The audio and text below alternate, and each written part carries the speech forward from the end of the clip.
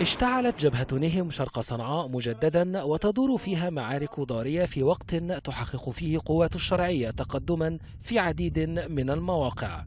الجيش الوطني والمقاومة تمكن من تحرير تلتي الحمراء والمدفون والتلال المجاورة لسلسلة جبل القتب الاستراتيجي الذي تمت السيطرة عليه.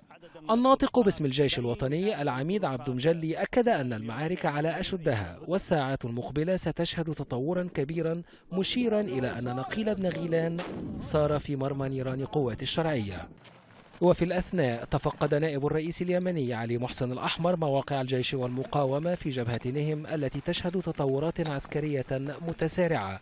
وأشاد بالدعم الكبير الذي تقدمه دول التحالف العربي بقيادة السعودية ودعم الشرعية بكافة المجالات. وفي تعز سيطرت قوة الشرعية على مبنى مستشفى الكندي المحاذي لمعسكر التشريفات الذي تدور في محيطه معارك شرسة. وتحدثت الأنباء عن مقتل القيادي الحوثي أبو عاصم وآخرين من الميليشيات.